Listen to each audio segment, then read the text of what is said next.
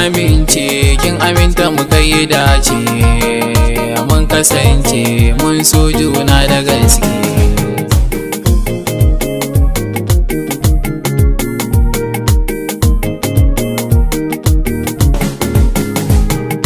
Zan yi batun ƙauna to zan tuna mai suna. San ban gajiya da kallon fuskar ki muradina. Na yarda da ke zanyo rayuwa a cikin raina. Kallon kallo muke yi inda har mun zauna.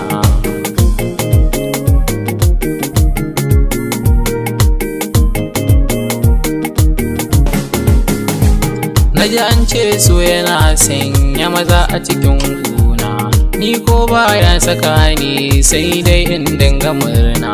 Domin na yo dace babatun wai in ji kuna Godiya na wa Allah dan na yi da can ƙauna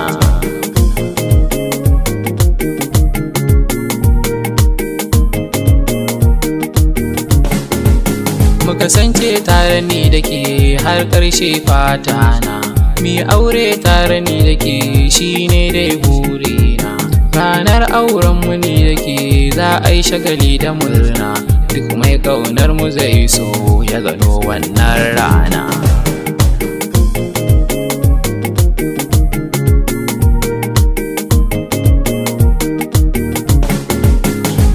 Dukkanin masoya su ga an zo wanga rana.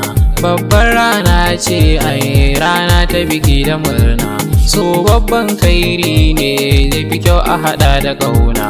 Godiya kai wa Allah in kai da can gauna.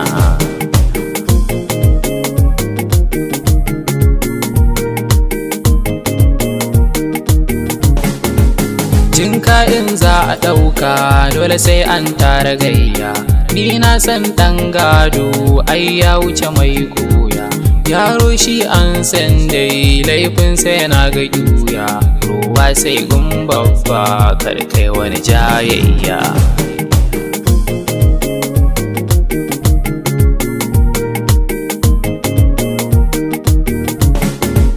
Shi mai ƙarya ka duba a idan sako bai da kunya.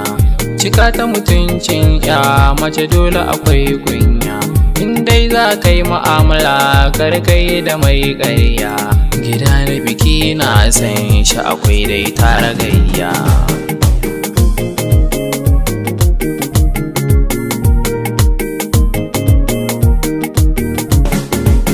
A gurin tankaɗe na san dole sai an sarariya Kaddarar so in ta zo ma babatun kai mata juya har ka je gona dole ne sai kaga kunya.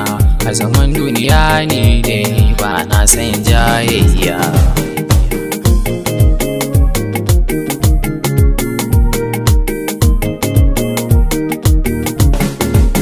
Rungugun ajiya ne ga mutanenmu na baya.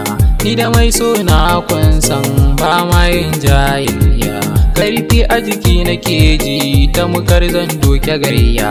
Sanadin jin ƙarfin nan baya wuce soyayya.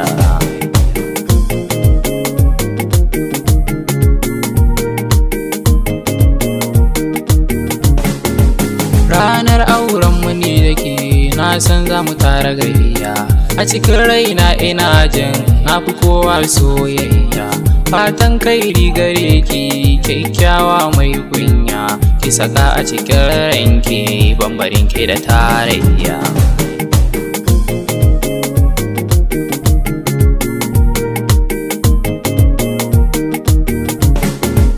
Na suresh ne karki manta na saka ki cikin raina.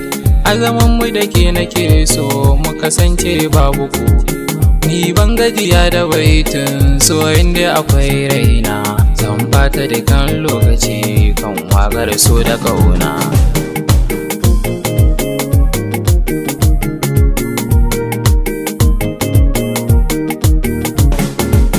Duk wanda ya ce na san kafa tabbas ba shi ƙauna Domin kuwa duk rintsi wata ran zai marana Ko zuciya ta yi waso nisa bai rasa gun kwana. Gari na masoyi san bai nisa da rana.